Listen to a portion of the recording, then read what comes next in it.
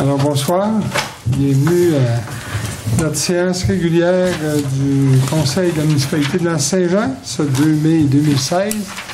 Alors bienvenue aux gens de la maison également. Alors, euh, une proposition, s'il vous plaît, pour l'ouverture de la séance. M. Victor Boudreau, appuyé par M. Yvan Côté. Euh, lecture et adoption de l'ordre du jour, M. Corbeil. Donc, euh, séance régulière du lundi 2 mai. En un, ouverture de la séance. Deux, lecture et adoption de l'ordre du jour. Trois, lecture des procès-verbaux. On a la lecture du procès-verbal de la séance régulière du 4 avril. La lecture et l'adoption du procès-verbal de la séance extraordinaire du 18 avril, ainsi que la lecture et l'adoption du procès-verbal de la séance extraordinaire du 25 avril. 4, euh, 4.1, acceptation des comptes et paiements directs pour le mois d'avril. 5, renouvellement des petites caisses. En 6, au niveau de la correspondance, on a en 6.1, comité conjoint sur l'ouverture de l'Église en saison estivale, commémoration du déluge de 1996. 6.2, modification au règlement municipal décrétant l'imposition d'une taxe pour le financement des centres d'urgence 911.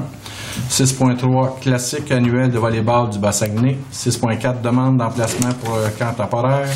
6.5, invitation aux activités du 50e de l'Association de la rivière Petit-Saguenay. 6.6, invitation à la soirée bénéfice annuelle Cibero. 6.7, le Café Bistrot Lézard, une demande d'appui. 6.8, demande de commandite les ateliers coopératifs du Fjord dans le cadre des fêtes de la Saint-Jean. 6.9, demande de participation financière pour le défi de la relève. Et 6.10, Saint-Honoré dans le vent, campagne de financement. En administration, 7.1, l'OMH, acceptation des états financiers 2014.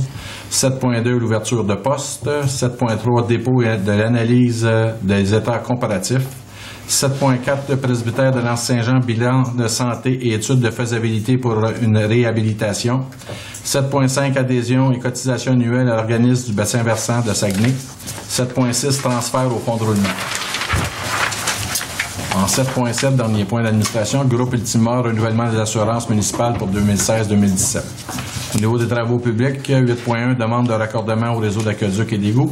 8.2, minis- 8.2, pardon, ministère des Transports, balayage printanier des rues. 8.3, dossier d'assainissement des eaux, engagement de la municipalité. 8.4, mandat pour la surveillance des travaux au camping municipal. 8.5, demande pour le renouvellement de déneigement sur le chemin des plateaux euh, communautaires. En 9, en urbanisme, 9.1, demande de lotissement dans le dossier de M. Jean-Sylvain Gagné. 9.2, demande de lotissement dans le dossier de Mme Angéline Gagné et M. Stéphane Doyon. 9.3, demande de lotissement dans le dossier de Mme Anne et Anna Boulay.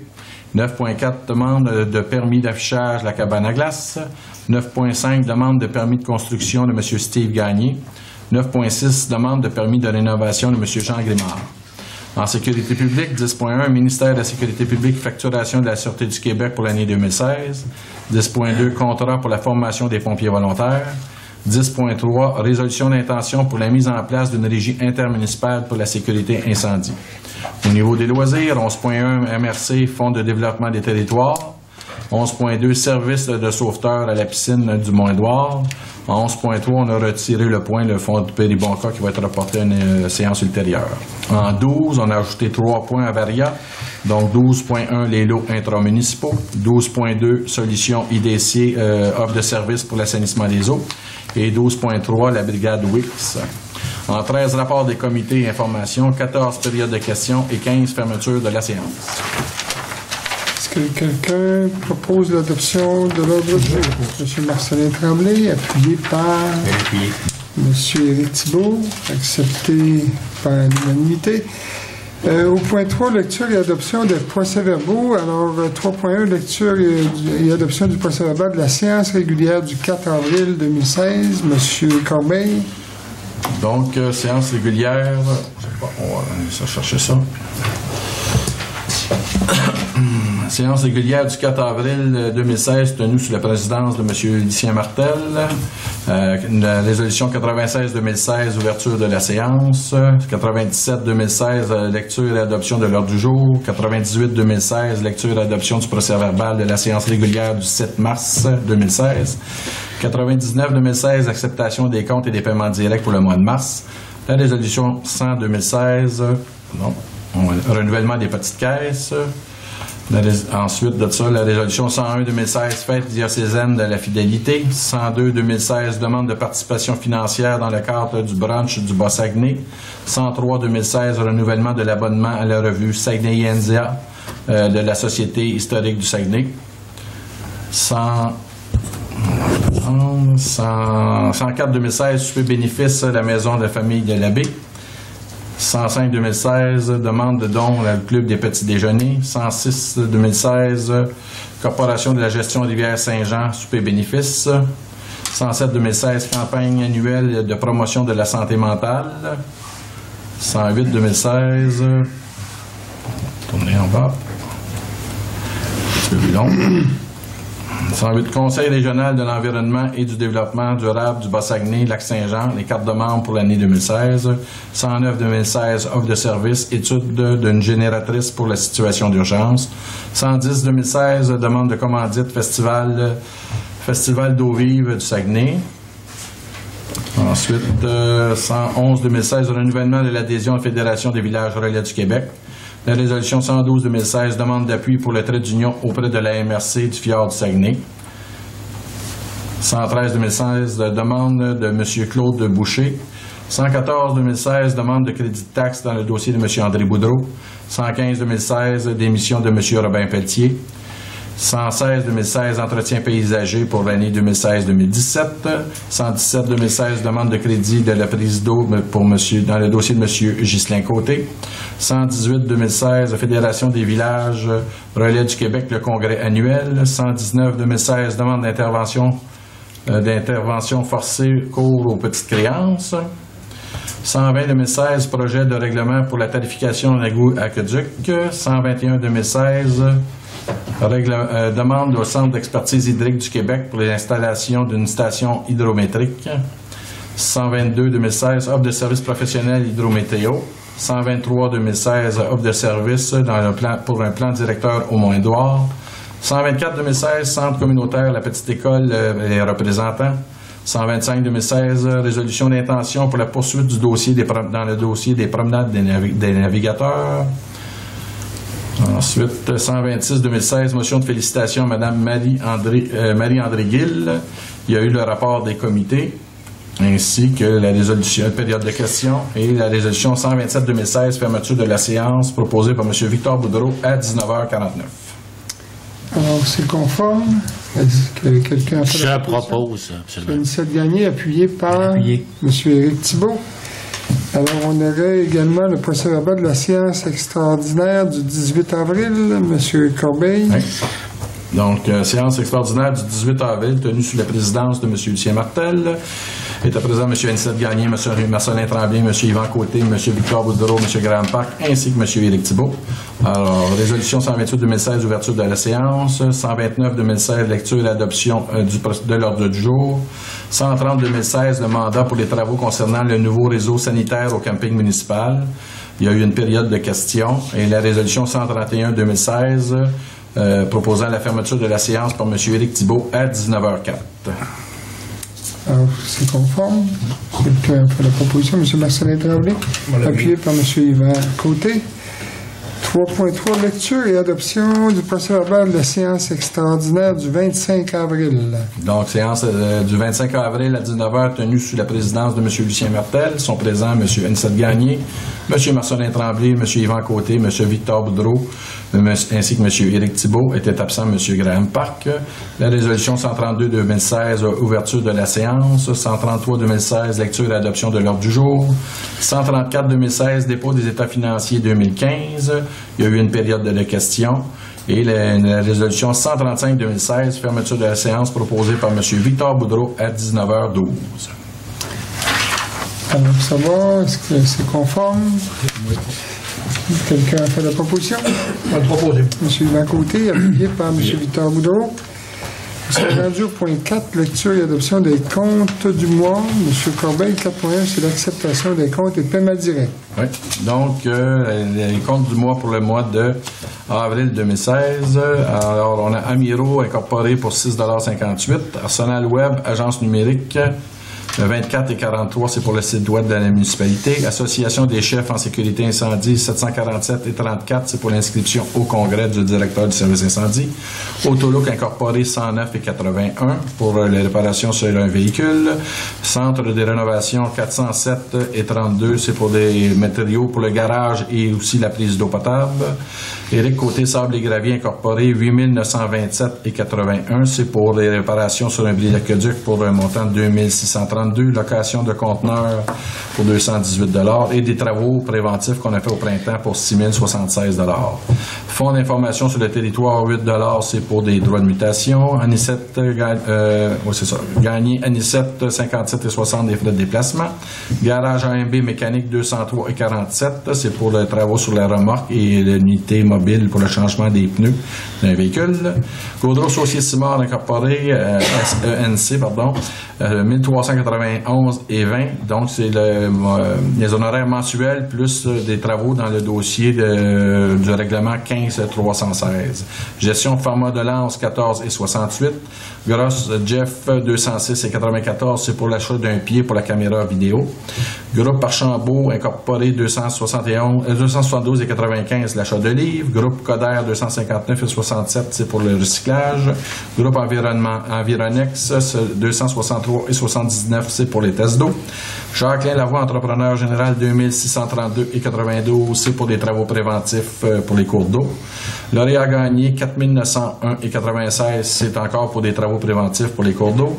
Le quotidien, le progrès dimanche 1594 et 20, c'est pour les publicités pour la municipalité et le Mont-Édouard. Instincteur Charlevoix incorporé 96 et 47. MRC du Fjord du Saguenay, 13 213 et 36. c'est pour euh, la, grosse partie pour les déchets du mois de mars qui ont coûté 12 700 Et la téléphonie, la cote-part, 500 Morin électrique, 803 et 48, c'est pour le débranchement de la roulotte à la patinoire. Pompe Action incorporée, 1270 et 47, c'est pour des travaux à la prise d'eau. Produit BCM limité, 183 et 60, c'est pour des pièces pour la prise d'eau. Roi Pierre, 117 et 22, des frais de déplacement. Transport Bouchard, 131 et 27. Et Massonnet Tremblay, 231 et 79. Ainsi que les frais de déplacement de M. Lucien Martel pour le mois de janvier, janvier, février, mars et avril, 1067 et 85 pour un total des comptes à payer de 38 546 et 18. On a des paiements directs, la Visa des Jardins pour 15 et 74, Petro-Canada Superpass 908 et 14 pour un total de, des paiements directs de 923 et 88. Est-ce que ça vous va? Oui. La proposition, M. Thibault, appuyé par appuyé. M. Victor Boudreau. Adopté l'unanimité. Alors, euh, on se rend à point 5, euh, renouvellement de la, des petites caisses. Je crois qu'on en a une. Oui, je pense que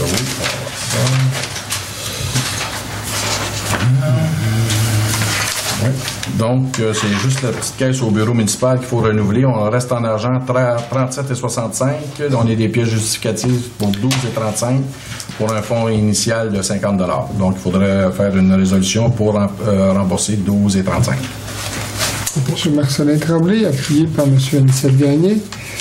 Alors, au point 6, donc, lecture de la correspondance. 6.1, comité conjoint sur l'ouverture de l'église en saison estivale commémoration du déluge de 96.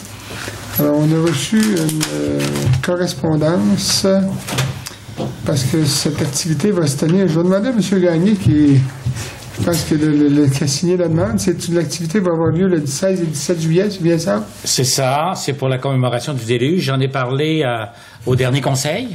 Et là, on va de l'avant avec la demande.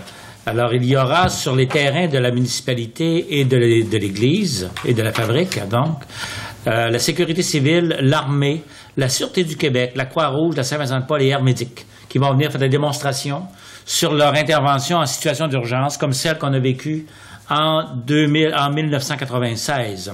Alors, on demande à la municipalité de nous fournir le chapiteau et de nous offrir les locaux ici dans l'édifice municipal pour les conférences et les causeries. Parce qu'il va y avoir des conférences qui vont être offertes également au grand public sur comment on intervient en situation d'urgence. Alors, c'est l'objet de la demande.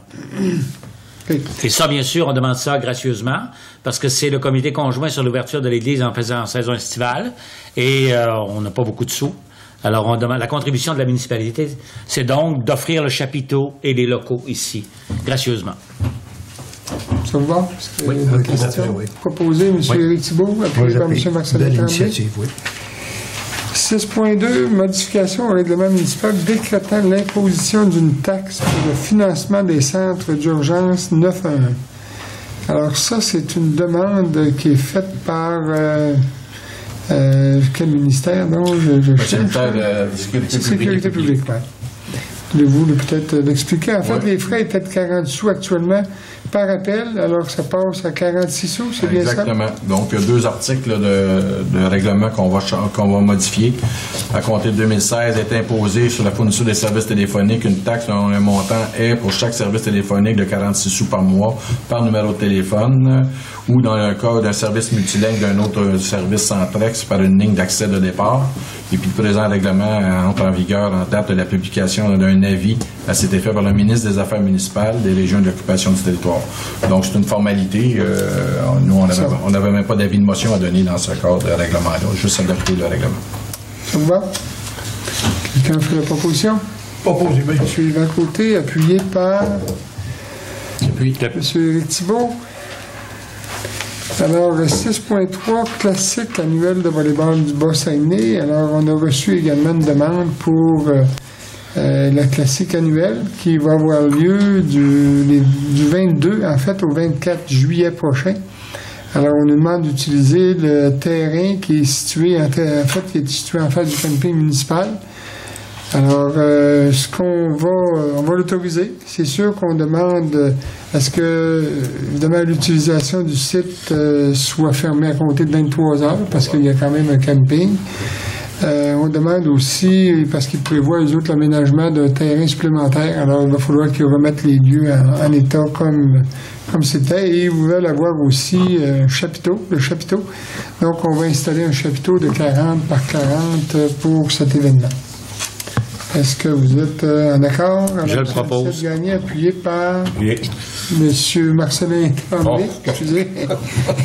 Je ne regardais pas du bon bord. Alors, euh, ça va pour ça. 6.4, demande d'emplacement pour camp temporaire. Alors, M. Corbeil, est-ce qu'on a eu des suivis? Non, euh, dans le fond, euh, ce point-là, on ne traitera pas ce soir parce qu'on avait eu une demande, là, parce que euh, il y a des, une organisation qui s'en venait faire l'entretien sous les lignes hydroélectriques euh, d'Hydro-Québec et puis il avait demandé la possibilité de pouvoir faire un emplacement temporaire, mais euh, ils nous sont pas revenus avec une proposition à cet effet-là, donc euh. On n'a pas de En fait, là, ils voulaient installer surtout deux, euh, appelons ça des roulettes de chantier, là, sur les terrains de- du Mont-Édouard. Et évidemment, ils voulaient avoir l'eau, l'électricité et puis les égouts. Mais les égouts, ils étaient, euh, en fait, ils nous proposaient d'installer eux-mêmes un, un système ou une fosse septique, appelons ça comme ça, là. On voulait quand même que s'ils installent une fosse septique, qu'ils l'installent à un endroit, en tout cas, où on pourrait quand même euh, pouvoir euh, en profiter par après, parce qu'on lui demanderait de le laisser sur place. On n'a pas eu d'autres suivis, alors on va attendre euh, le développement à ce niveau-là. Alors, euh, 6.5, habitation, activité du 50e de l'Association de la rivière Saguenay. Alors, c'est une activité qui va avoir lieu le 28 mai prochain.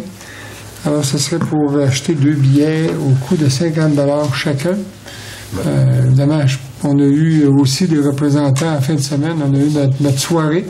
Alors, il y avait des représentants de Petit Saguenay également. Donc, je pense que c'est important de pouvoir aussi euh, être présent à cette occasion. Je vais le proposer. Proposé par M. Éric Thibault, appuyé Oui. par M. Victor Boudreau. Alors, 6.6, euh, 6.6, oui, euh, invitation soirée bénéfice annuelle le Cibro 2016. Le Cibro, évidemment, c'est une euh, activité qui a lieu à, à Saint-Fulgence. Alors, euh, on nous demande une contribution pour participer à cette activité. C'est une contribution de 75 pour un billet. Alors, euh, ce serait pour prendre, euh, acheter un billet, en fait, pour cette activité qui va avoir lieu le 6 mai prochain. Monsieur Yvan Côté, appuyé par Monsieur Anicette Gagné. Café Bistrot Lézard demande d'appui. Alors, vous savez que le, Café Bistrot Lézard, la toiture s'est effondrée euh, au cours de l'hiver. Alors, ils demandent un appui, évidemment, possiblement qu'ils veulent obtenir de l'aide à différents niveaux. Euh, donc, ils demandent un appui euh, de notre municipalité. Euh, je pense que c'est important. Puis c'est important pour la municipalité de Petit-Saguenay également d'avoir ce, ce- cette entreprise ou ce, ce bistrot. On dit qu'ils reçoivent quand même plusieurs clients de l'extérieur, entre autres euh, des touristes européens. Alors, euh, ce serait pour euh, les encourager. Quelqu'un a fait la proposition, M. Martin Tremblay, appuyé par M. Victor Boudreau. 6.8, demande de commandite des ateliers coopératifs du fjord dans le cadre des fêtes de la Saint-Jean. Alors, c'est une demande de- d'aide pour euh, réaliser le spectacle de la Saint-Jean. On nous demande un montant de 250 Je pense que les ateliers coopératifs, c'est eux qui exploitent le restaurant, le bistrot. Euh, donc, euh, on sait qu'ils organisent des spectacles. Alors, ce serait pour accorder un montant pour cette activité. Quelqu'un a fait la proposition? Pas beau, hein? M. Victor Boudreau, appuyé par l'appuyer. Monsieur Yvan Côté. Euh, 6.9, demande de participation financière pour le défi de la relève. Alors, le défi de la relève, c'est une activité qui a débuté l'an passé. En fait, ça a lieu en même temps que le grand défi Pierre Lavoie. Ça a lieu à l'école Fréchette. Euh, c'est les gens qui font du vélo sur place. Alors, l'an passé, ça a été euh, un franc succès. Euh, on a prévu à notre budget cette année un montant de 500 dollars pour les aider, évidemment, euh, à organiser cette activité-là. On sait que, évidemment, le défi de la relève ont quand même distribué un bon montant d'argent aux différents organismes dans la municipalité et aussi dans le Bas-Saguenay. Alors, ce serait pour continuer à les encourager. Ça va avoir lieu du 18 au 19 juin prochain. Je le propose. dernière, appuyé par l'appuyer. Monsieur Yvan Côté. Saint-Honoré dans le vent, campagne de financement. Alors, euh, c'est un peu la, la- la- période de toutes les campagnes de financement. Euh, c'est une activité qui va avoir lieu, euh, mon Dieu, 2 juin. 2 juin, c'est ça, oui. Sur la Marjolaine. Alors, c'est euh, en fait, ils vendent des billets à 125 C'est vraiment une activité de financement. Euh, je veux juste mentionner qu'en fin de semaine, on a eu une, une activité de financement à la ZEC euh, Saumon. Et effectivement, le maire de Saint-Honoré était présent. Je pense que c'est important aussi de- d'être présent. Donc, ce serait pour acheter un billet pour l'occasion. Échange de bons services. Échange de bons services. Alors, vous en faites la proposition, M. Gagné? Oui. Appuyé par Appuyé. M. Éric euh, Thibault. 7. L'administration OMH, euh, acceptation des états financiers 2014. Alors, on recule dans le temps, mais ça fait partie des, des, euh, des, des règles. En fait, ils font la vérification et par après, ils font des ajustements. Alors, euh, en principe, lorsqu'il y a un déficit, on paye 10% Je ne sais pas, dans ce cas-là, il y a un surplus de 2742. Est-ce qu'il rembourse? Non, non, non, non. Alors, euh, c'est pour euh, une, proposition de résolution pour accepter les états financiers. M. Marcelin Tremblay, appuyé par M. Yvan Côté. Alors, je continue quelques pages. Ouverture de poste. Euh, vous savez que M. Robin, Robin Petit a quitté, donc euh, c'est pour ouvrir le poste de journalier. Également aussi, on a un congé de maternité à remplacer pour la période euh, d'été, euh, à compter du mois d'août. Donc, euh, c'est un congé de maternité de, de la réceptionniste. Alors, ça serait pour ouvrir ces deux postes, s'il vous plaît. Je propose. Côté, appuyé par M. Gagné. C'est 7.3, dépôt de l'analyse des états comparatifs. M. Corbeil. Ouais. Donc, euh, comme on fait à chaque année, deux fois par année, au mois de mai et ainsi qu'au mois d'octobre, on fait le dépôt des états comparatifs. Donc, on compare les états financiers par rapport à la même période l'année précédente. Et aussi, on fait aussi l'analyse des, on en profite de faire l'analyse des écarts pour euh, réajuster les prévisions budgétaires qui sont faites à l'automne euh, de l'année précédente. Donc, euh, cette année, Euh, au niveau de l'ajustement des écarts, euh, comme on a, fait le dépôt des états financiers 2015 euh, la- la- lors du 25 avril dernier, et qu'on prévoyait, on, pas qu'on prévoyait, mais qu'il y avait un déficit de 49 384 dollars. On a revisé euh, les états financiers, les prévisions budgétaires 2016 de façon à tout de suite euh, résorber ce déficit-là. Alors, euh, suite à l'analyse des données qu'on a, on a, en date de la fin avril, on a des revenus de prévus au niveau de la taxation de 35 000 et on a des dépenses qu'on a fait euh, des, ajustements de réduction dans certains, dans certains postes pour 14 000 ce qui nous dégage un surplus de 50 390 qui devrait éponger le déficit de 49 384. Donc, ça prendra une proposition pour adopter les, Et, euh, ce- et les, les fournisseurs sont payés à ce moment-là. On est, on est quitte euh, partout. là. Oui, oui. Merci. Ça va? Quelqu'un a fait la proposition? Moi, je la faire. Proposée par M. Marcelin Tremblay, appuyé par M. J'appuie. et Anicette Garnier. 7.4, presbytère de Saint-Jean, bilan de santé et études de faisabilité pour une réhabilitation. Alors, on sait que la fabrique a offert le presbytère à la municipalité pour 1 Alors, évidemment, avant de prendre une décision, on veut faire un bilan de santé pour voir exactement, pour évaluer exactement quels seront les coûts euh, qui sont reliés à l'acquisition de cette, de cette bâtisse.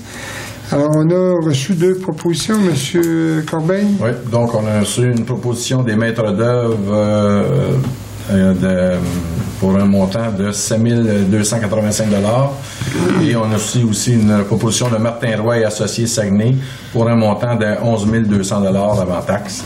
Donc, euh, le, le meilleur soumissionnaire, le meilleur prix, c'est les maîtres d'œuvre. Alors, quelqu'un a fait la proposition? M. Anicette Garnier, appuyé par L'appuyé. M. Yvan Côté. 7.5, est-ce que tout le monde est d'accord? Ça va? Oui. Oui. OK. Euh, 7.5, adhésion et cotisation annuelle à l'organisme de bassin ver- versant du Saguenay. Alors, euh, c'est une adhésion, en fait, c'est un coût d'adhésion annuel, c'est au montant de 50 Euh, Je pense que c'est important. D'ailleurs, il faut mentionner que dans le courant du mois de mars, ils sont venus nous rencontrer. Euh, de même aussi que tous les organismes qui ont, un- comme les ZEC, euh, autant la ZEC Tweet, la ZEC euh, euh, tous ceux qui gravitent là, autour de, de l'eau, si on veut, parce qu'eux ont, ont- ont le mandat vraiment du ministère euh, euh, pour euh, l'environnement pour pouvoir euh, effectuer ce qu'on appelle un plan d'action et proposer des actions aux, aux municipalités et à différents organismes aussi, comme les ZEC vont avoir des actions à poser pour s'assurer euh, de la qualité de l'eau des lacs, des rivières. Alors aujourd'hui, c'est quand même important et c'est cet organisme-là qui a cette responsabilité. Donc c'est au coût de 50 Je pense que c'est un organisme important. Roger.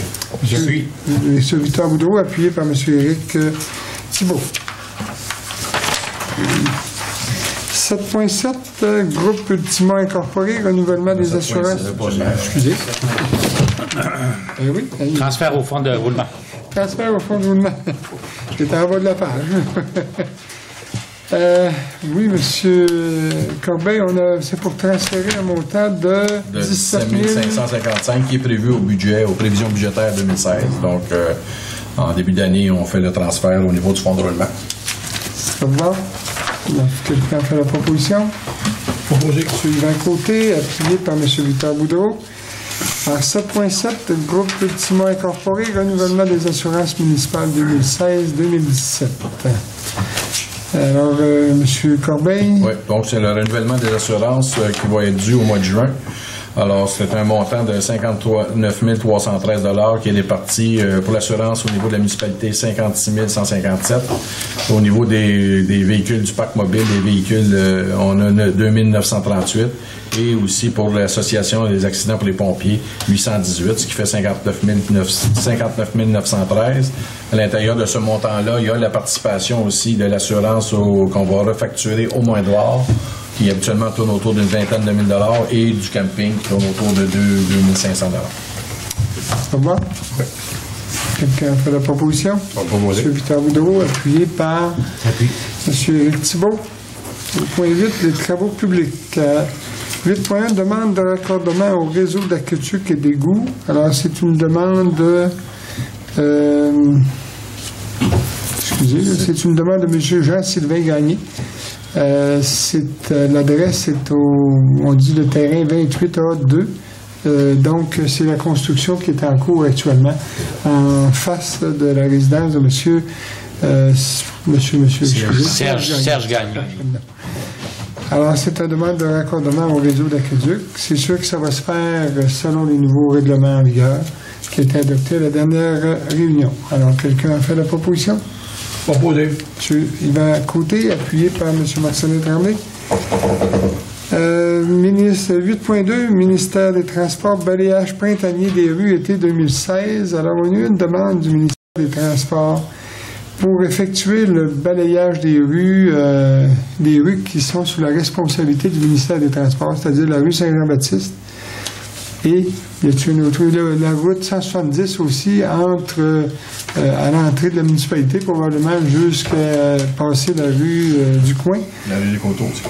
La rue des Coteaux également, c'est vrai, c'est vrai, tout à fait. Alors, on a, c'est la deuxième année qu'on reçoit cette demande-là. Il faut dire qu'on n'a pas beaucoup d'informations. Euh, on a décidé cette année de décliner encore l'offre du ministère. Euh, je pense qu'avant d'accepter, il faudrait au moins établir un protocole avec les autres, pour savoir exactement à quoi s'en tenir. Pour le moment, ce qu'on nous dit, c'est que on nous dit que de, de- de faire le travail puis qu'ils vont nous rembourser, mais je pense qu'il faudrait aller un petit peu plus loin que ça. Alors, on- on- tout simplement, on va dire au ministère qu'on ne prend pas en charge le balayage des rues sous la juridiction du ministère des Transports pour cette année encore. Ça va? Oui. Quelqu'un a fait la proposition? Proposé. M. Victor Boudreau, appuyé par M. Appuyé. Gagné. 8.3, dossier assainissement des eaux, engagement de la municipalité. Alors, on a aussi euh, un dossier qui, qui chemine. On espère que ça va euh, continuer de cheminer euh, positivement. Mais en- suite à des communications qu'on a reçues du ministère euh, des Affaires municipales, euh, et de l'organisation du territoire. On a reçu euh, une proposition. Alors, je demanderais peut-être au directeur général d'en faire la lecture. Et évidemment, on a une résolution à adopter avant d'aller plus loin. Oui, donc euh, le projet de résolution se lit comme suit. Considérant que la direction des infrastructures de Québec du ministère des Affaires municipales et Occupation du territoire, dans sa correspondance du 21 mars dernier, demande à la municipalité de confirmer certains points pour la poursuite du dossier. Euh, il est proposé et appuyé de confirmer ce qui suit, c'est-à-dire qu'aucun travaux n'est prévu en milieu agricole au sens de la loi sur la protection du territoire et des activités agricoles. Aucun travaux ne sera réalisé conjointement avec le ministère des Transports. Euh, dans, le, dans ce cas, un permis de voirie sera requis en vue de la réalisation des travaux dans l'emprise de la rue Saint-Jean-Baptiste, qui est sous, la, sous leur juridiction que la municipalité euh, est consciente des risques qui peuvent être associés à la mise en place d'une conduite de refoulement d'une longueur de plus de 5 km. la conduite la plus longue documentée par le ministère étant de 4,4 km et est située à Saint-Mathieu en Montérégie. Et que les usagers situés entre le bassin 1 et le bassin 2, 3 et 4 ne pourront être accordés à la conduite de refoulement. la mise en place d'une conduite d'égout en parallèle ne pourra être considérée aux fins de la présente aide financière par le ministère. Ça vous va? Oui, je propose. Proposé par M. Anicette Gagné, appuyé par Appuyé. M. Victor Boudreau. Alors, adopté à l'unanimité.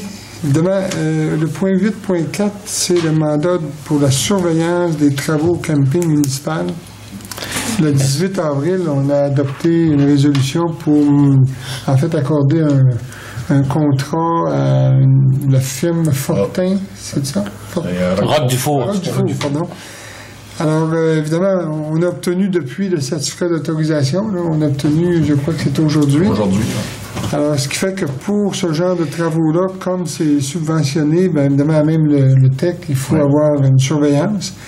Euh, Monsieur Corbeil, le- le- la proposition pour la surveillance actuellement, c'est la firme WSP, c'est bien ça? Effectivement. Donc, euh, rencontre de démarrage, euh, surveillance du bureau et visite du chantier chargé sur le, le projet, surveillance en résidence, inspection provisoire et finale, les plans tels que construits. Alors, dépenses euh, chargées de projet et surveillant, donc euh, pour un total de 15 636 La taxe, la taxe d'assises va en payer 80 la municipalité va en payer 20% Au revoir. Quelqu'un fait la proposition, M. Anicet Gagné, appuyé par M. Côté. Demande de, de- pour le renouvellement de déneigement chemin des plateaux communautaires. Alors, euh, c'est une demande, on avait fait la même chose l'an passé, on avait euh, euh, réalisé, en fait, c'est eux qui font faire les travaux, on en paye une partie. Euh, comme on fait dans les chemins de tolérance, on applique le même principe, excepté que c'est un déblaiement pour euh, l'année.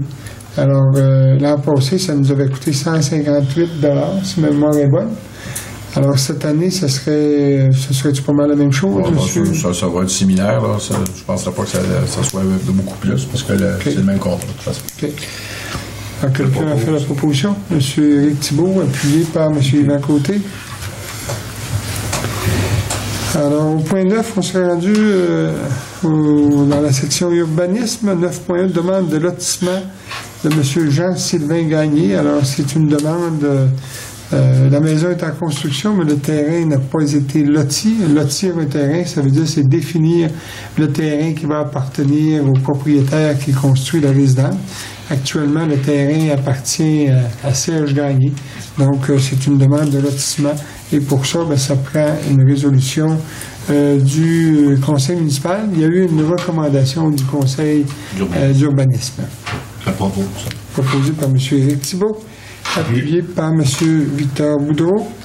9.2, demande de lotissement de Mme Angéline Gagné et de M. Stéphane Doyon.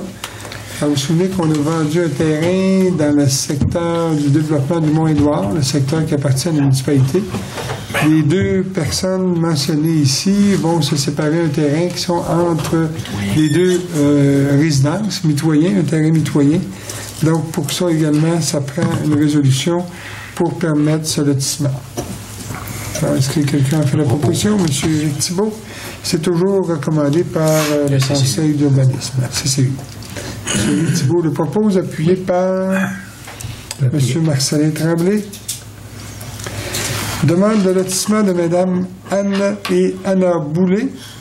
Alors, Mesdames Anne et Anna Boulet, eux, c'est euh, euh, une résidence qui est située le long de la 170, qui est presque en, euh, en face de Haut-Mandouin. Alors, euh, ils ont construit une maison euh, jumelée, je pense, ensemble, mais le terrain appartenait, à- qui n'a pas été subdivisé. Alors, ce qui est proposé dans le cas présent, parce qu'évidemment, c'est difficile de diviser le terrain en deux, c'est plus euh, d'établir ou de faire en sorte que ce soit un terrain genre condominium, c'est-à-dire que chacun a leur propriété, mais le terrain appartient à l'ensemble des deux propriétaires. Donc, c'est quand même un lotissement que ça demande également. Je Cette propose. gagné, appuyé par M. Victor Boudreau. 9.4, demande de permis d'affichage de la cabane à glace. Alors, euh, on a reçu une demande de, de permis pour l'affichage. Alors, malheureusement, on ne pourra pas donner suite à cette demande-là pour le moment. Il y a différentes raisons. Parce que d'abord, la proposition qui est faite ne respecte pas la réglementation. Et deuxièmement, pour pouvoir permettre la- l'aménagement d'un commerce à cet endroit-là, il faut relier le- les deux bâtisses, c'est-à-dire la bâtisse principale à la bâtisse accessoire qui est le garage. Donc malheureusement, on ne peut pas donner suite pour le moment. Est-ce que ça vous va? C'est bon? Oui. Demande de permis de construction de M. Steve Gagné. Alors, M. Steve Gagné, c'est justement dans le développement du Mont-Édouard. C'est un terrain qui a été euh, euh, vendu il y a quelque temps. Alors, on a une demande de, de permis. Ça a été euh, aussi approuvé par le conseil euh, d'urbanisme, le comité d'urbanisme. Euh, donc, euh, on a, vous avez les plans également de la résidence. Euh, il y a une dérogation par rapport au, Au toit. au toit. parce que dans ce secteur-là, c'est un PPI, c'est pas un règlement, c'est quand même une distinction importante. Nous, on- on- le PPI parle d'un toit de 6,12, alors que là, on propose un toit de 4,12. Mais compte tenu de, de la disposition, de la façon dont c'est orienté, 4,12, ça donnerait trop une grande... oh, ça hausserait énormément la résidence.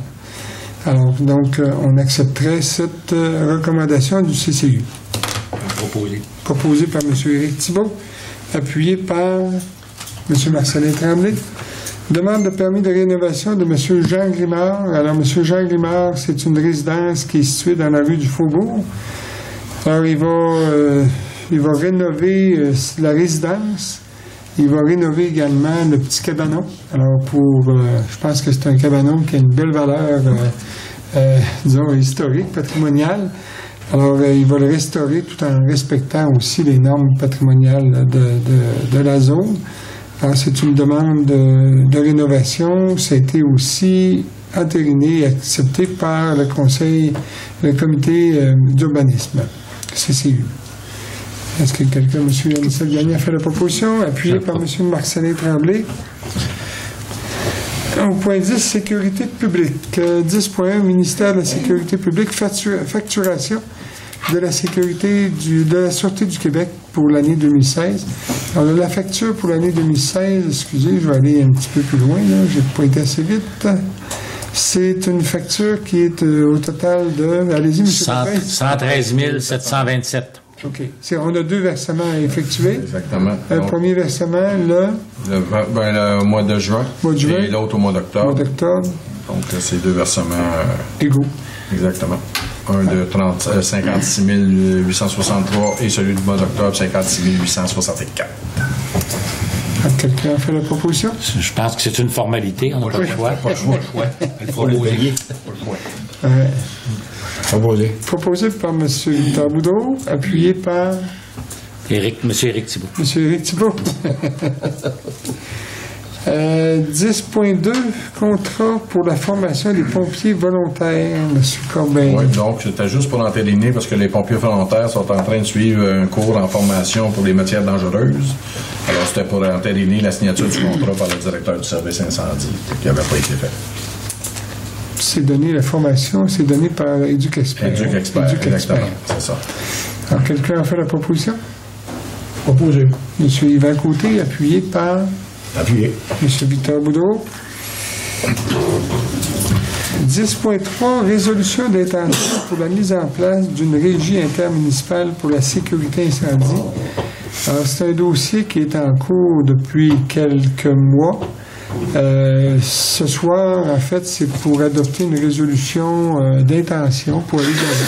Ce qui est intéressant, euh, je pense que je l'avais mentionné déjà, mais ce qui est intéressant, c'est que les cinq municipalités du Bas-Saguenay euh, se joignent pour pouvoir justement se donner une euh, structure, une organisation qui va permettre de, se donner, je pense, des meilleurs services et qui va permettre, on le souhaite en tout cas au moins, de diminuer nos coûts d'opération. Il faut dire qu'actuellement, selon le schéma de couverture de risque, il n'y a pas une municipalité au Bois-Saguenay qui rencontre les exigences. Donc, euh, en se regroupant, on va pouvoir rencontrer les exigences. Et euh, non seulement ça, mais aussi le ministère des Affaires municipales et de la Sécurité publique nous incite fortement, ou incite les municipalités du Québec fortement à se regrouper pour justement donner un meilleur service. Euh, tout ça fait suite un petit peu aux des recommandations qui ont eu lieu à la suite là, du euh, sinistre euh, qui a eu lieu à l'île verte. Euh, on se souvient, la maison pour personnes âgées euh, qui a été la proie des flammes en 2014, je crois, 2014, il me semble. Alors, M. Corbeil, peut-être je l'inviterai à lire le projet de résolution? Oui. Donc, considérant l'intérêt démontré par les municipalités du Bas-Saguenay d'évaluer la pertinence de créer une régie intermunicipale euh, de sécurité incendie, considérant que le ministère de la Sécurité publique et le ministère des Affaires municipales incitent les autorités en milieu urbain et rural à procéder au regroupement des services de sécurité incendie en vue d'une action simultanée sous une même direction, considérant que le schéma de couverture de risque comporte des exigences que notre municipalité ne peut rencontrer sans le support des autres municipalités, considérant que le regroupement des services de sécurité incendie des municipalités du Bas-Saguenay apporterait des avantages tant au plan de la sécurité de nos citoyens que des coûts d'opération pour chacune des municipalités, considérant que le recours à une personne ressource compétente est nécessaire pour nous accompagner dans la préparation du dossier, il sera proposé, appuyé et résolu est conseillé que la municipalité de Lens-Saint-Jean confirme son intention de faire partie de la régie intermunicipale de sécurité incendie du Bas-Saguenay, comprenant l'ensemble des municipalités suivantes, municipalité de Petit-Saguenay, municipalité de Lens-Saint-Jean, Rivière-Éternité, Saint-Félix-d'Otis et la municipalité de Ferland-et-Boileau qu'un mandat soit confié à M. Frédéric Guérin afin de nous le, dans la démarche de mise en place de la régie et que les coûts soient partagés par l'ensemble des municipalités concernées. Qu'une demande d'aide financière soit adressée au ministère de la Sécurité publique dans le but de défrayer les coûts des services d'un consultant et qu'une copie de cette résolution soit acheminée au ministère de la Sécurité publique, aux députés du comté du Buc et ainsi qu'à la MRC. Alors, ça va pour le projet de résolution? Est-ce que quelqu'un a fait? Il faut mentionner qu'il y a eu une rencontre d'information aussi la semaine passée euh, de tous les membres des conseils municipaux de- des, des cinq municipalités concernées. Alors, c'est ce qui a été euh, convenu, en fait, euh, du moins souhaité par l'ensemble des personnes qui étaient présentes à cette occasion. Proposé. Proposé par M. Victor Boudreau, appuyé par M. Yvan Côté. Au point 11, donc, loisirs, culture, tourisme et vie communautaire, 11.1, MRC, Fonds de développement des territoires 2016. Alors, on a eu des demandes, euh, en fait, de, de plusieurs, euh, disons, euh, de plusieurs organismes. Alors, on a, euh, entre autres, un projet de pêche à gué de l'Association Chasse et Pêche de Lens-Saint-Jean. Euh, ça, c'est... euh, euh, l'association du chasse et pêche, c'est différent, c'est la ZEC, en fait. C'est la zectruite. C'est c'est un nom qui. OK. On a également, c'est un montant, montant de 2500 On a un projet de sentier de vélo de montagne de l'organisme Les Sentiers des 21 au montant de 30 000 Et on a un projet de réaménagement des sentiers de motoneige du Club de motoneige du Fjord au montant de 7 500 Le tout, ça donne un montant de 40 000, c'est bien ça, euh, qui est le montant qui est alloué à la municipalité pour les projets dans le cadre du développement des territoires, ce qu'on appelle les fonds, euh, le Fonds de développement des territoires, le FDT, pardon. Alors, est-ce que vous avez fait la proposition? M. Éric Thibault, appuyé par M. Marcelin Tremblay. Euh, au point 11.2, service de sauveteur à la piscine du Mont-Édouard, je laisserai peut-être M. Corbeil? Oui, donc euh, l'an dernier, on avait euh, commencé les premières activités de, la piscine. Alors cette année, euh, afin d'avoir un meilleur tarif, il faut statuer sur le nombre d'heures qu'on veut utiliser le sauveteur à la piscine et de faire la demande conjointe avec le camping municipal. Donc on va encore retenir les services de services de sauveteur. Alors, euh, on prévoit avoir euh, le tarif va être de 20,72 C'est déterminé par euh, l'organisme. Alors, comme on a un budget de 5 000 de disponible, on, a pour tra- 338 heures, 30 338 heures d'ouverture prévue à la piscine sur une période de euh, 11 heures à 17 heures tous les jours, donc 6 heures par jour pendant 8 semaines, ce qui nous, amène avoir une période d'ouverture de la piscine de- du 3 juillet au 27 août. Donc, il faudrait passer une résolution pour demander les services d'un sauveteur là, pour cette période-là, qui va être fait conjointement avec euh, le camping municipal. Ça va? Quelqu'un a fait la proposition? M. Anicette Gagné, appuyé par Appuyé. M. Victor Boudreau.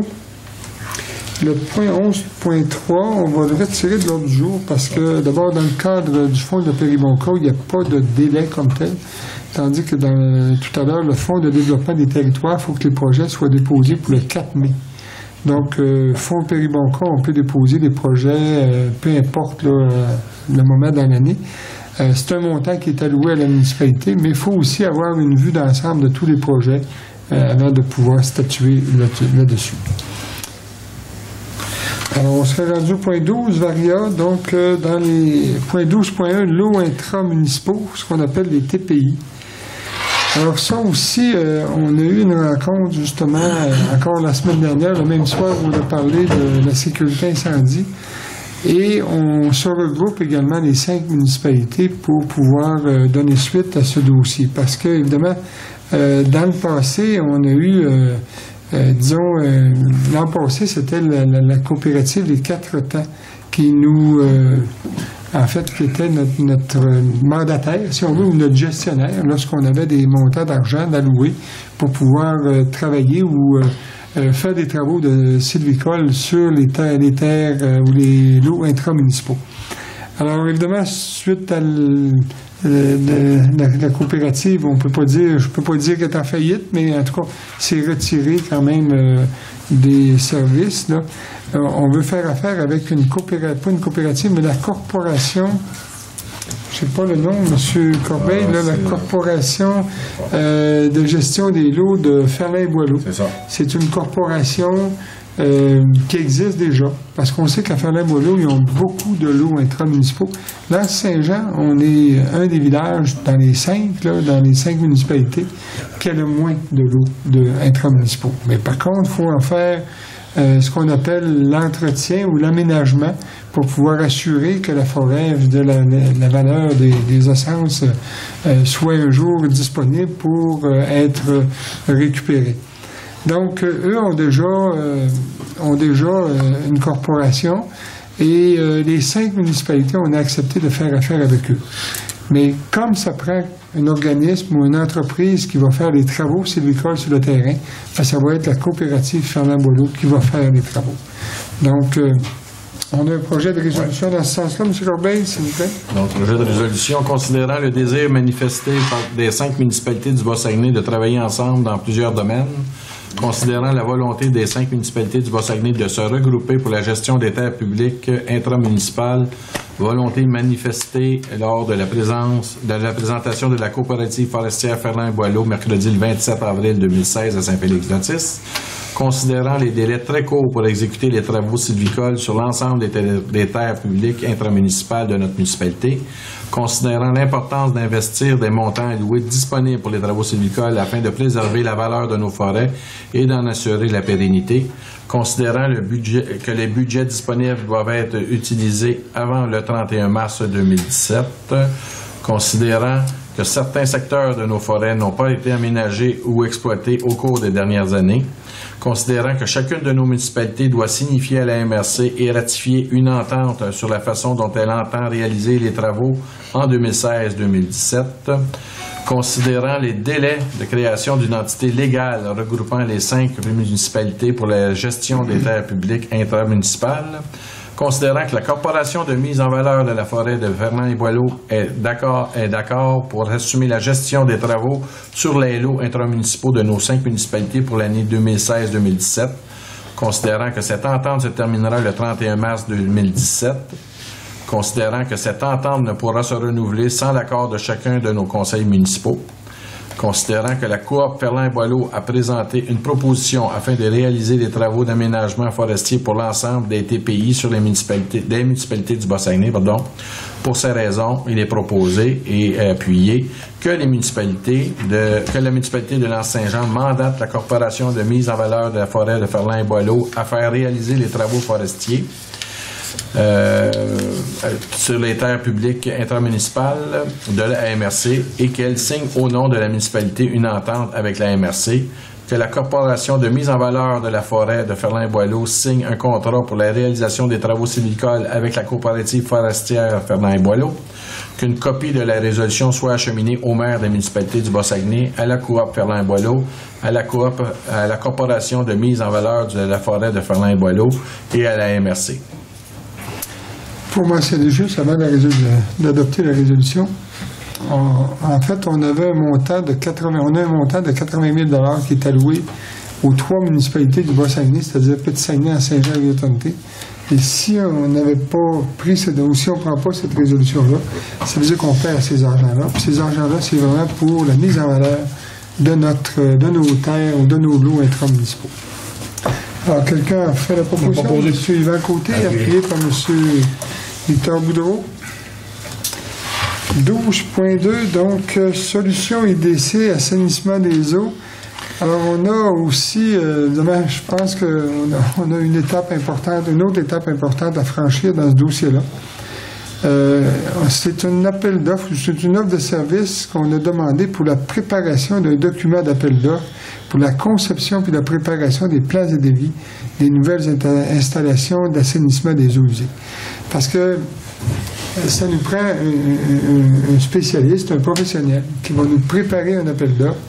Et là, on va envoyer cet appel d'offres-là à des, euh, des firmes spécialisées, comme WSP, ou comme, j'allais dire Roche, mais ça a changé de nom. Là. Oui, on plus trop le nom.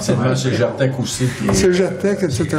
Donc, euh, c'est la solution. En fait, c'est la firme des solutions IDC.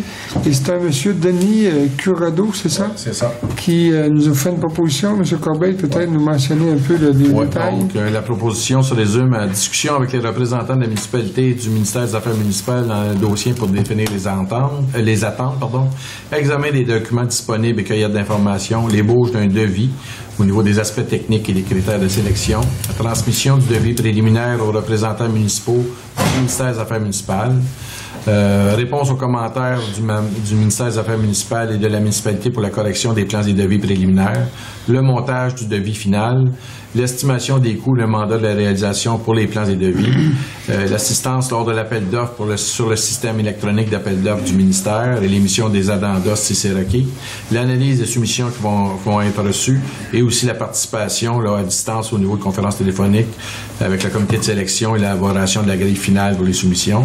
Alors, le tout euh, pour un montant de, on parle de 7 965 plus taxes, donc euh, 9 157. Tout à fait. Alors là aussi, euh, c'est, euh, ça fait partie du programme de la taxe assise, donc 80% de ce montant-là va être financé et 20% sera attribué à la municipalité. Ça va?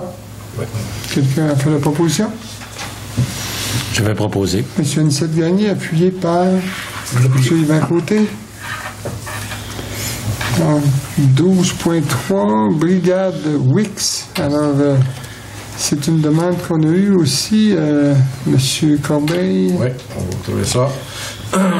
Donc, euh, c'est ça. euh, dans le fond, ça vient du, de l'organisation Gros Étoile Fjord qui, comme l'an dernier, ont préparé un projet à soumettre à la MRC. Alors, le projet, c'est un projet pour les activités pour cet été qui, a- qui a- qui est nommé la Brigade Wix, qui va intervenir dans les cinq municipalités du Bas-Saguenay. C'est un montant de 7500 qui est demandé euh, à la MRC, c'est-à-dire c'est un projet de 5500. Le montant demandé dans le fonds des territoires à la MRC est de 6000 Il y a 1000 qui provient de l'organisation Gros Étoile Fjord et chaque municipalité de- du Bas-Saguenay, les cinq municipalités, euh, sont appelées à contribuer au montant de 100 pour, euh, dans ce programme-là et d'appuyer le projet au niveau de la MRC. proposé par M. Éric Thibault, appuyé par M. Marcelin Tremblay. Alors, on serait rendu au point 13, rapport des comités et informations. Alors, euh, je vais commencer par ma gauche. M. Éric Thibault, est-ce que vous avez des... Oui, j'aurais des choses à donner, euh, Oui. Monsieur le maire. Je vais commencer par euh, vous donner l'information cette semaine. Alors, euh, mercredi, le 27 avril, avait lieu euh, au restaurant L'Essentiel, la GA, du transport adapté et collectif du Fjord. Euh, pour cette année, évidemment, c'est la 16e année euh, du transport qui est toujours répartie dans deux volets. Alors, on parle de, transport de personnes, service aux personnes qui ont une incapacité euh, et le service au transport collectif. Donc, euh, le bilan des données pour le transport collectif, on a effectué cette année, en 2015, euh, 1803 déplacements. C'est une diminution de 1200 par rapport à l'année d'avant 2014. Donc, euh, la diminution peut paraître importante, mais euh, selon notre étude, elle est attribuable à la fin du transport du vendredi. Euh, le transport qui amenait les jeunes du Bas-Saguenay, soit ceux de Rivière-Éternité et ceux de Petit-Saguenay vers la Maison des jeunes le vendredi soir. Euh, donc, ils ont perdu un financement, un programme gouvernemental qui était géré par la Maison des Jeunes. Donc, ça, ça a fait en sorte qu'il y a eu 1200 déplacements de moins. Pour ce qui est euh, euh, du, de l'année 2016, alors étant donné que la diminution était importante, on trouvait quand même que c'était une activité qui était intéressante pour nos jeunes. Alors euh, le comité du transport explore la possibilité de donner à nouveau ce service à partir de septembre pour les jeunes de nos localités. À même, évidemment, pour le transport collectif, peut-être un rappel, euh, les quatre municipalités, soit celle de Petit-Saguenay, de L'Anse-Saint-Jean et de Rivière-Éternité, ainsi que celle de Saint-Félix, contribuent pour 4 000 chacun euh, dans ce service. Euh, Pour le transport adapté, alors on parle plutôt de 4686 déplacements. C'est quand même assez précis. On a des valeurs qui sont, qui sont dures à, à déjouer par rapport à 5225 pour l'année 2014. Alors là aussi, il y a une baisse. Et dans l'analyse, euh, on parle de, de deux déménagements de personnes usagées, euh, donc euh, des usagers à mobilité adaptée. Donc, ça explique grandement la, diminution. D'autres renseignements peut-être pourraient être intéressants. Alors, on parle de l'avenue de deux nouveaux conducteurs. Alors, on salue l'avenue de messieurs Yvon Pelletier et monsieur Gervais Lavoie. Au niveau aussi du transport du samedi, peut-être, alors il y a toujours le site Internet qui est très, euh, qui est très accessible, euh, qui est disponible, les informations sont bonnes. Euh, il y a toujours le transport du samedi. Cette fois-ci, par contre, euh, au printemps, donc euh, c'est un projet pilote qui s'est transformé en presque habitude. Euh, c'est aux deux semaines. Et euh, c'est au besoin aussi. Alors, euh, les réservations, faire les réservations, c'est important de, de, de les faire d'avance pour éviter que euh, qu'il y ait personne dans l'autobus où là, on annule, on annule le transport. Bon, ça va pour ça. Oui, oui. Euh, oui. si Il vous- faut juste mentionner que c'était quand même un, service extrêmement important pour notre milieu. euh, autant le transport euh, adapté, le transport collectif. euh, euh, sais, pour nos communautés, là, je regarde ça, il y a quand même, oui, il y a une diminution, mais je pense que vous avez bien expliqué les, les motifs là, de cette diminution-là. Moi, j'incite les, les- les gens à continuer d'utiliser le service. C'est quand même un service euh, important. Il ne faudrait pas perdre ce service-là. Je pense qu'il y a beaucoup de gens qui, euh, qui euh, Qui en utilisent bénéficient. qui en bénéficient Oui. beaucoup. qui en bénéficient. Puis effectivement, quand on parle du transport collectif, le, le- parce que pour l'adapter euh, au niveau du financement, c'est un code part municipal qui est, euh, qui est alloué au niveau du, euh, du MTQ. Donc, évidemment, la municipalité, les municipalités sont appelées à Contribuer. à contribuer à la hauteur du nombre de, de personnes dans leur municipalité. Il faut peut-être aussi mentionner que celle Saint-Félix n'adhère pas au service de transport adapté, c'est la seule. Et puis, euh, au niveau du collectif, euh, euh, les coûts du collectif, les sous qui sont investis dans le collectif dans les transports locaux, parce qu'on n'a pas vraiment de transport, nous, en commun comme dans les villes. Donc, c'est un peu notre petit transport en commun. Donc, la MRC vient à même un programme doubler ces montants-là. Alors, à titre d'exemple, les jeunes, ça leur coûte 6 dollars pour aller euh, pour un transport du samedi vers la ville. Eh bien, euh, le 6 dollars se transforme en 12 dollars quand on, on redemande au niveau de la MRC la redistribution au niveau des transports qui ont été faits. Alors, je pense que ça répond quand même assez bien. là. Euh, je ne veux pas prendre tout votre temps. Comme M. le maire l'a mentionné tout à l'heure, alors samedi euh, dernier, samedi qu'on vient de passer, alors euh, nous avions euh, le souper bénéfice de la ZEC Saumon. Alors, évidemment, le comité de la ZEC Saumon, je pense que c'est une ruche d'abeilles, là, présentement. C'est un comité qui travaille fort. C'est un comité qui, a beaucoup de projets. Et puis ce souper bénéfice samedi euh, était sous la présidence évidemment de notre préfet, M. Gérald Savard. Euh, le chef euh, invité, euh, on parle de Jean Soulard, euh, qui est un chef de grande renommée. Euh, C'est un chef très compétent, qui est accessible. Et je peux vous dire, euh, avec le souvenir de mes, de mes papilles gustatives, qu'il connaît, il sait ce qu'il fait.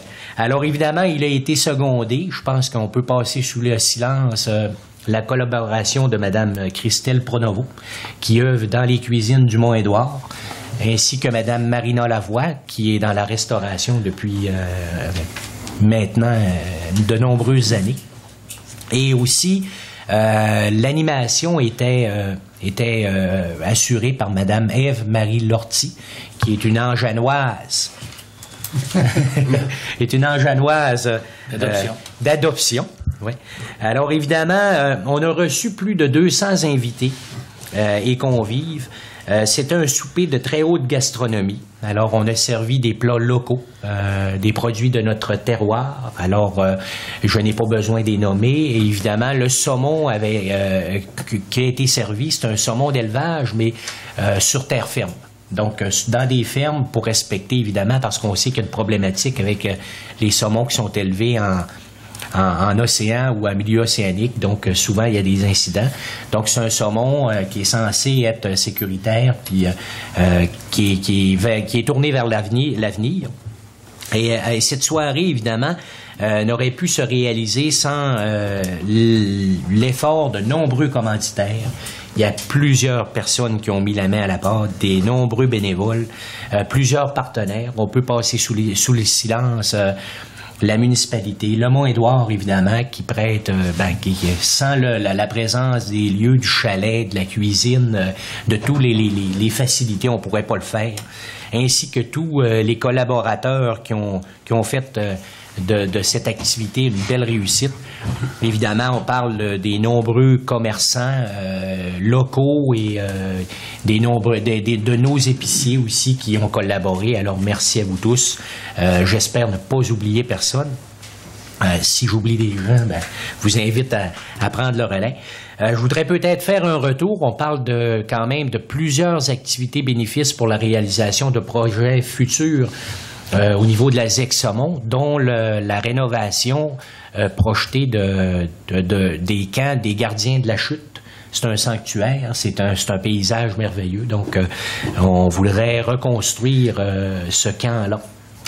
Et puis, les deux derniers événements au niveau du financement, dont le spectacle de Lise Dion, qui, qui n'aurait pas pu se, se réaliser sans le cautionnement de, des, des caisses populaires du Bas-Saguenay, si on n'avait pas eu euh, la garantie, le cautionnement, on n'aurait jamais pu faire ce spectacle-là. Un spectacle, euh, évidemment, euh, de, grande envergure. Un spectacle comme ça, ça peut coûter au-delà de 55 000 Et nous, on a récolté des bénéfices nets de plus de 18 000. Alors, c'est une grande réussite. Puis merci à tous ceux aussi qui ont acheté des billets, qui sont venus du Bas-Saguenay nous encourager, évidemment. Et le dernier souper de samedi, alors, il euh, n'y a pas de décompte officiel qui ont été faits, mais tout porte à croire qu'on se, probablement qu'on devrait être capable de, de faire un, bénéfice de, d'aux alentours d'une quinzaine de mille de, dollars. Donc, c'est quand même, c'est quand même très intéressant. Puis, euh, euh, on va utiliser ces sous-là adéquatement. pour la rivière qui a été, comme le disait si bien le président, euh, la première raison pour laquelle on a accueilli euh, du tourisme euh, dans notre localité, les pêcheurs de saumon. Donc, évidemment, je pense que ça a fait le tour un peu. Tout à fait. je ne sais pas si j'ai oublié des on choses. On peut dire que la rivière de Saumon a beaucoup d'amis. Oui. Même beaucoup d'amis dans la municipalité, mais beaucoup d'amis à l'extérieur aussi. On a beaucoup de visiteurs de l'extérieur. Alors, monsieur, monsieur Victor Boudreau? J'aimerais vous parler de la réunion annuelle du camping municipal qui a eu lieu le 10 avril, lundi dimanche après-midi. On fait toujours ça un dimanche après-midi. J'avais lancé une invitation euh, à la dernière du conseil pour avoir beaucoup de monde. Donc, ça a été même surprenant. On a eu beaucoup de monde à l'assemblée du camping. Euh, je vais vous donner les résultats euh, de, notre année financière. On a eu comme Revenu, 188 477 de revenus.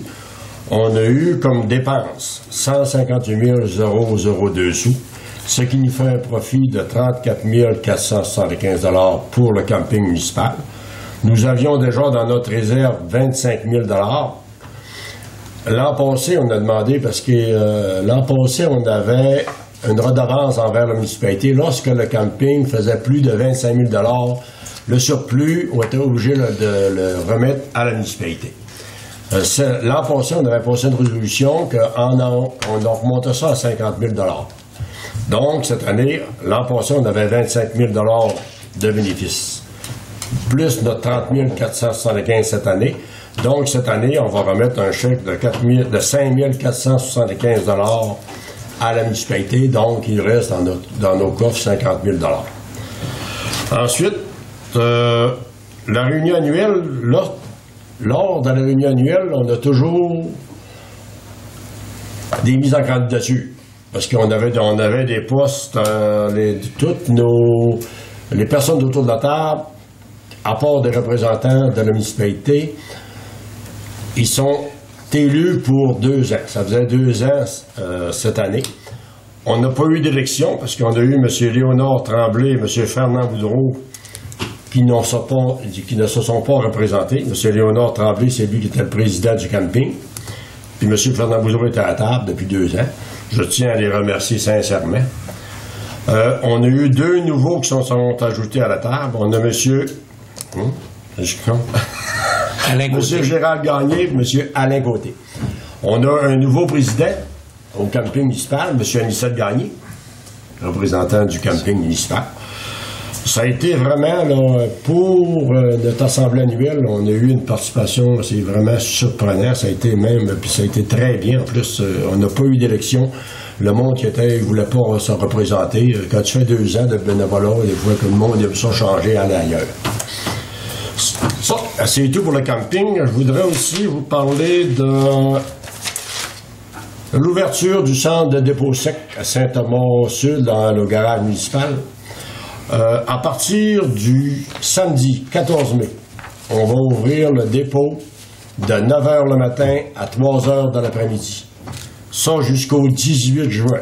Parce que le printemps, le monde a boussé, c'est du ramassage, on se nettoie pour l'hi- pour l'hiver, on laisse un peu traîner des affaires, puis ça, on va les jeter au dépôt sec. Au dépôt sec, on a un surveillant qui est là, on ramasse la peinture, les pneus, faut que les jantes soient enlevées. Un pneu avec la jante, vous repartez avec, ça, ça prend le rubber sec ou la roue sec, comme on appelle. On ramasse les télévisions, les ordinateurs, euh, tout ce qui est d'électronique, on le ramasse. On ramasse le bois, le plastique, l'aluminium, le fer. On a des contenants, c'est euh, assez bien organisé. Je demande à la population, lorsqu'il y a du fer puis du bois, le- de le démêler. Si c'est pris après, vous enlevez le fer pour envoyer juste du bois à un endroit, puis le métal à un autre endroit. Je vous remercie beaucoup. Merci, M. Victor. Parce que de l'information importante.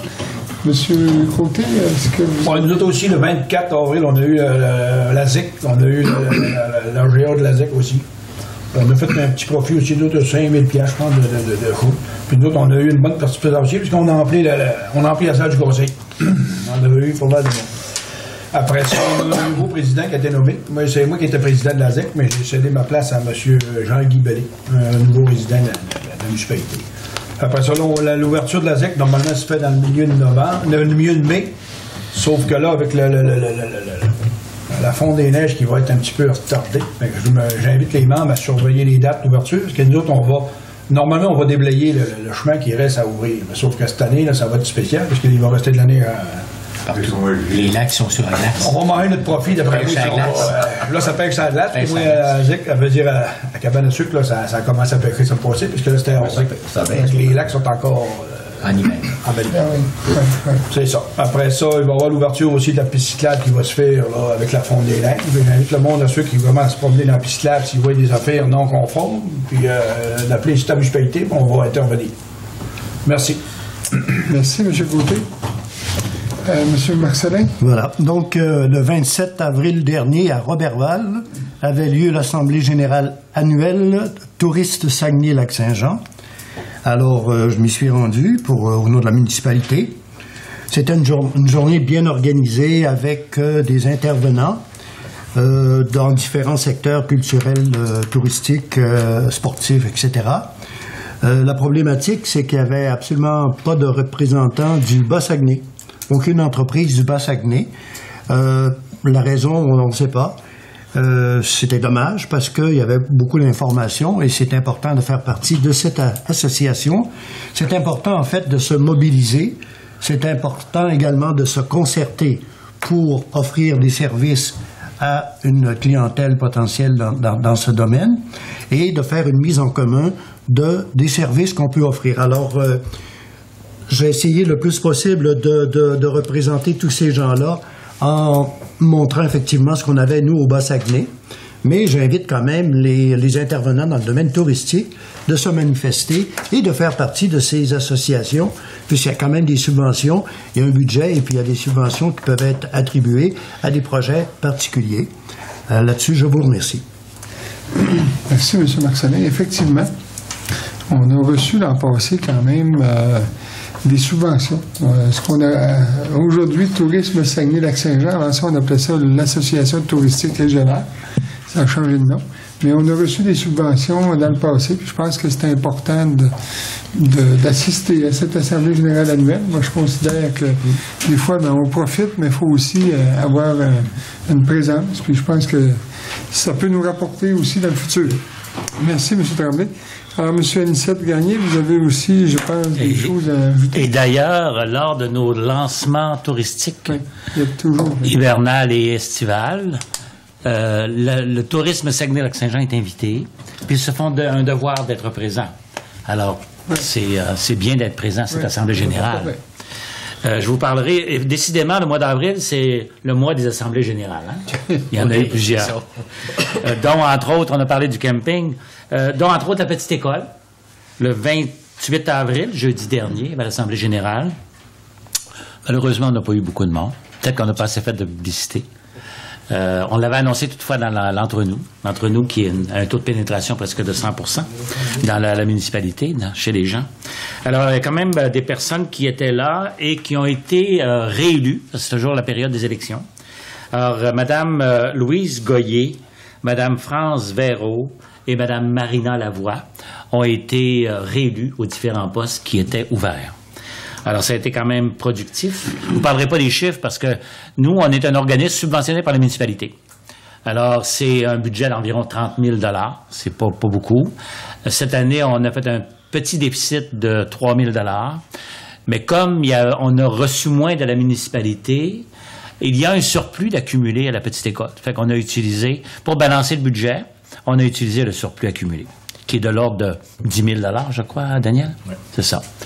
Alors, c'est l'information que je voulais partager avec vous concernant cette Assemblée générale. Merci, M. le maire. Monsieur le maire, oui. j'ai oublié des choses. Oui. Me le permettez-vous? Oui, oui, tout à fait. Bon, alors, j'ai oublié des petites choses parce que tout à l'heure, M. Victor m'a fait penser que euh, au niveau du transport, il y a deux postes, euh, évidemment, à combler. Ce sont des gens qui représentent la collectivité. Alors, si mhm. jamais vous connaissez des gens qui sont intéressés à se présenter, ils sont les bienvenus. Au niveau du comité d'urbanisme aussi, il y a Mme Valérie Gagné qui nous a quittés. Euh, on tient à la remercier euh, grandement pour euh, les années qu'elle nous a données. Et puis, c'est toujours quelque chose d'intéressant. C'est un comité qui est actif aussi. donc, il y a un poste disponible. Si vous connaissez des gens, ils peuvent se présenter, puis leur candidature. Donc, on, va la recevoir. Et puis, Peut-être une précision, si vous me permettez, au niveau de, du dossier du lotissement de tout à l'heure de Mme euh, Angéline Gagné et Stéphane Doyon.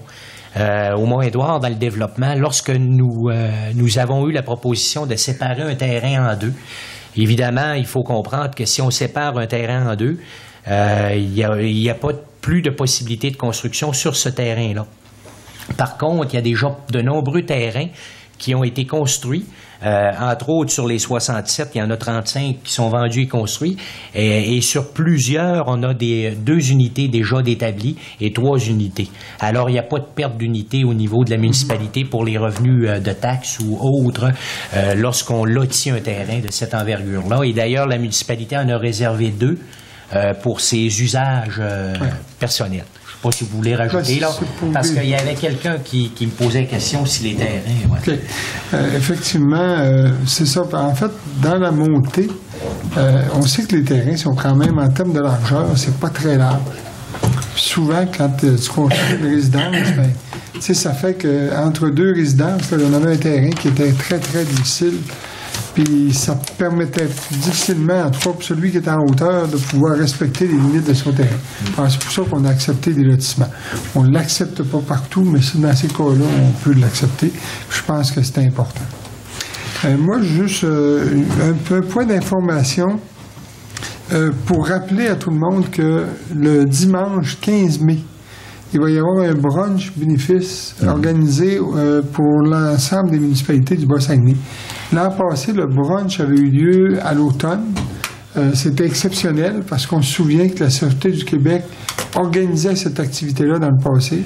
La Sûreté du Québec s'est désistée, s'est retirée, et les municipalités du Bas-Saguenay ont accepté de prendre en charge cet événement et de le réaliser, euh, euh, de réaliser en fait cette activité bénéfice. C'est une activité importante parce qu'encore là, il y a des organismes qui profitent des de, de, montants d'argent, entre autres la Maison des Jeunes. La Maison des Jeunes, c'est toujours pas facile de subventionner ou d'aller chercher des fonds. Donc, la municipalité, évidemment, on, subventionne la Maison des Jeunes, mais par différents euh, organismes comme ça qui font des levées de fonds, ben, ça nous permet d'ajouter des montants à ces organismes-là. Donc, le 15 mai, ça se fera à l'école Fréchette, comme d'habitude. Euh, les cinq municipalités du Bas-Saguenay, en fait, en partant de Fernand-Boileau jusqu'à Petit-Saguenay, euh, vont être, euh, c'est organisé par ces cinq municipalités-là. Il y a un comité organisateur, je tiens à féliciter le comité organisateur parce que c'est un gros travail. Je sais également que les chevaliers de colon sont beaucoup impliqués dans la préparation du brunch. Alors, c'est une belle activité, puis j'invite la population à être présent à cette occasion. Alors, ça fait, ça complète peut-être le rapport des comités information. On serait rendu à la période de questions du public. Oui? En avant? Oui? Oui? Je pensais que c'était assis. Là, je m'adresse pas à vous, là, je m'adresse. Comme ça. OK, OK. Ben, bonsoir. Euh, ben, D'abord, euh, ben, je suis Marie-Claude Boilly. Euh, je représente la cabane à glace, la future crèmerie à Saint-Jean. je voudrais juste rectifier quelque chose parce que tout à l'heure, vous avez dit bon, le raccordement à la maison est pas fait, tout ça, ça va se faire avant l'ouverture. En fait, il fallait attendre que de pouvoir brancher euh, de pouvoir se connecter au réseau d'aqueduc avant de faire le toit parce que ça empêchait l'appel mécanique de, de travailler. Euh, donc, euh, ça sera fait, ça c'est sûr. Est-ce que la demande de permis est faite actuellement? Oui, tout est. oui, moi j'ai reçu même résolution et tout ça et le permis est tout est tout est. Tout est en règle là-dessus. ensuite, je veux vous dire que bon là, ça fait presque deux mois qu'on est en démarche par rapport à notre affichage. On a fait des changements. Le CCU, au départ, n'était pas au courant du, règlement au niveau de l'affichage, tout ça. On va se conformer. Euh, ma question est, après cette introduction, euh, est-ce que vous avez prévu retravailler les règlements d'affichage qui datent quand même de 1991? Euh, on s'est posé la question, c'est une chose qu'on va faire également. OK. Éventuellement, dans les prochaines années? Ou, euh, parce que, tu sais, au niveau du graphisme, ça a beaucoup évolué, tu sais, en 25 ans. Fait que maintenant, on peut faire des choses très belles euh, avec la, la, gravure laser sur du bois et tout ça. Fait que ça, c'est ma première question. Oui, la, la ça va être. Euh, OK, c'est sûr que c'est quand même un processus qui demande. Oui, qui demande du temps. Oui, ouais, ouais. Puis évidemment, on veut se, pour faire une révision comme ça, il faut quand même aller voir qu'est-ce qui se fait ailleurs, ailleurs. pour pouvoir se donner euh, la meilleure produits possible. C'est sûr qu'on veut aider aussi les commerces. C'est bien évident qu'on a l'air un petit peu restrictif, mais ben, ben, malheureusement, les règlements... Euh, hein. Ben, tu sais, je comprends la réglementation. Je trouve que c'est appliqué avec beaucoup de rigidité quand même, parce que euh, moi, tu sais, étant une entreprise saisonnière qui va fonctionner cinq mois et demi environ, euh, puis tu sais, quand je pense aux touristes anglophones qui ne lisent pas nécessairement les pancartes en français, le fait de voir un, cornet sur une affiche, ben c'est parlant. fait que c'est sûr que oui, je trouve que c'est quand même, vous l'appliquez euh, avec beaucoup de rigidité, rigidité d'autant plus qu'il y a quand même une autre entreprise dans le même secteur que moi qui ne respecte pas cette réglementation qui a été qui a été faite pas il y a 25 ans. Ça a été fait quand même, le règlement existait quand cette affiche-là a été mise. Fait que, il y, a quand même euh, ça, mais euh, je veux vous dire que nous allons nous conformer. Moi, je veux pas de chicane non plus. Je pense que c'est bien d'avoir des bons termes avec la municipalité. Fait que on va se conformer. Euh, j'ai une autre question, par exemple, euh, parce que je, reste quand même avec mon idée d'avoir un cornet pour que les gens, les gens sachent que c'est une crèmerie. Fait que j'essaie de trouver une façon de, de rentrer dans les règlements puis d'être conforme. Fait que sur la fiche, ça, je comprends bien. Je peux pas mettre de cornet. Ce sera ce ne sera pas le cas. Euh, est-ce que c'est possible? Est-ce qu'il y a des règlements qui m'empêchent d'en mettre un dans la fenêtre, par exemple, euh, parce que probablement que ça va être l'électrique Quatico qui va nous fournir, euh, le, si c'est dans une fenêtre, est-ce qu'il y a un règlement qui, qui me... moi, je ne peux pas répondre ce soir. La réglementation, il faut le regarder. OK. On va essayer de trouver quelque chose pour nous favoriser tout en respectant les règlements. sinon, ben, sinon, tu sais, il y avait le cornet sur la bâtisse, parce que je pense qu'au niveau de la forme, ça, il n'y avait pas de règlement. Ça, fait que je me disais, à la limite, j'en mets pas sur mon affiche, mais j'en mets un sur le sur le, le, garage. Là, on se parlait des couleurs. Là. Il fallait que ce soit une couleur unie. ce qui ne sera pas vraiment beau.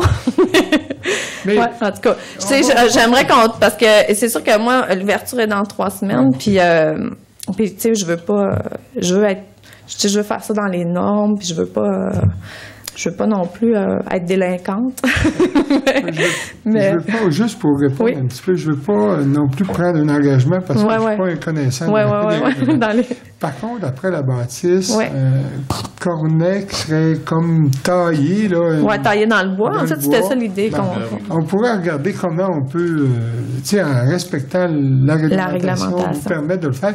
Et là, ça donnerait un visuel qui pourrait être, Ouais, c'est ça. Ça, ça, vous permettre ça me conviendrait. Je trouve que ce serait un beau compromis.